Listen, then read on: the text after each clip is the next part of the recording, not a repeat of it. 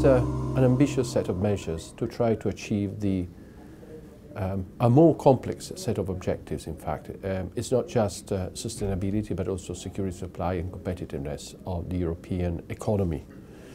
These are objectives which have been set for a long time and been pursued for a long time. I think there is an additional challenge which emerged over the last, I think, five years or something like that, the need to ensure that the energy system in Europe is resilient and can accommodate um, the penetration, the greater penetration of uh, renewable energies. Um, they are essential for security supply, they're essential for sustainability of the system.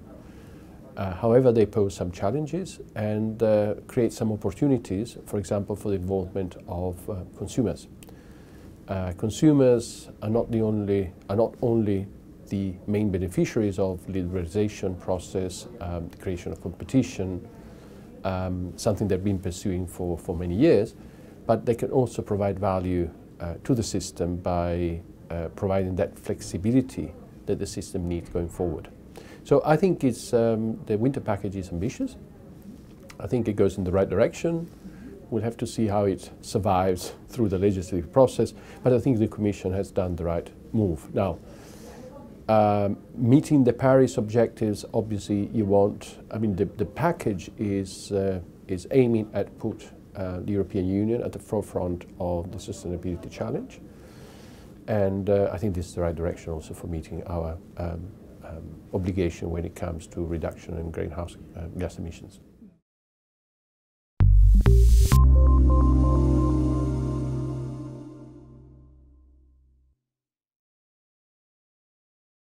Well, I think we need a new uh, governance framework because um, I think the Commission is right in proposing um, European-wide um, objectives, targets.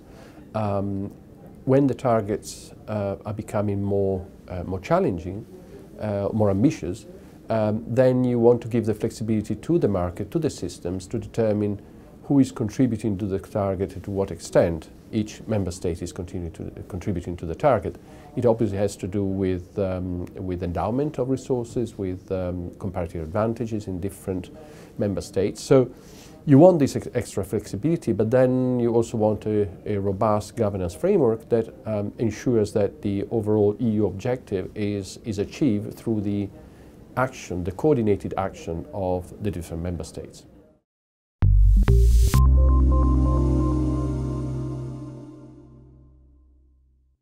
The simple answer is no. Um, I think the, um, we ourselves, a couple of years ago, we conducted a, an assessment of what are going to be the main challenges facing the energy sector in the next 10 years and what should be the regulatory response to these challenges.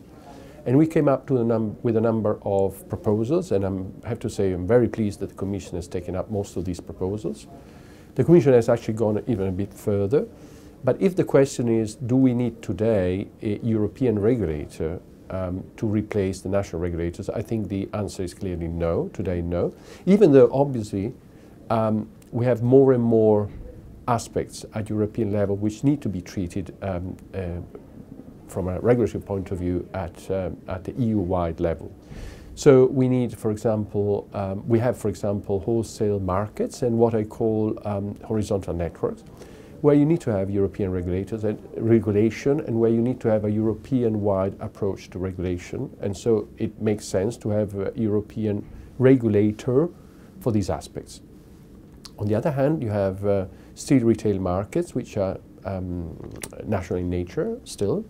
Um, maybe 15 years ago, we would have hoped to have a European retail market. Now what we're trying to achieve is to guarantee entry um, to national um, uh, retail markets so that you can develop competition, but there's still national retail market. And if a consumer in Spain um, uh, faces a problem, I don't think that they expect uh, to call Slovenia, uh, the agency in Slovenia. They want to talk to someone in their language, in their culture, with their, you know, knowing close to their problem. So I think when it comes to retail markets and uh, protection of consumers' rights, I think we still need um, uh, national regulation. So the challenge is to have um, to, to combine um, the importance still of national regulation, but with obviously other uh, layers of regulation that has to be, when it comes to wholesale markets, as I said, and horizontal network, it has to be European-wide.